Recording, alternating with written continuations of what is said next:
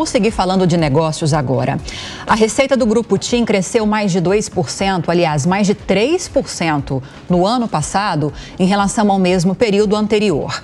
Quem explica por quê é o Bruno Meyer.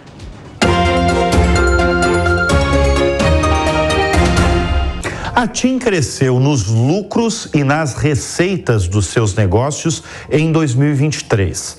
As receitas, que é todo o dinheiro que entrou na empresa com a venda de serviços da multinacional italiana, somaram 16 bilhões e 300 milhões de euros entre janeiro e dezembro de 2023, um crescimento de 3,2% sobre 2022. E o que sustentou os bons números foi a operação brasileira. Foi o ótimo desempenho da TIM Brasil, que teve uma alta de 11,3% no faturamento para 4 bilhões e 400 milhões de euros.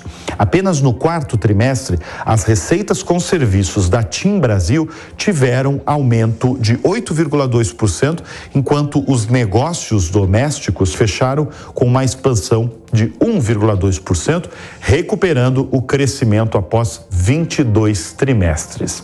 E nos últimos dias, a TIM Brasil divulgou o plano estratégico que vale entre 2024 a 2026, com investimentos que podem chegar até 4 bilhões e 600 milhões de reais por ano.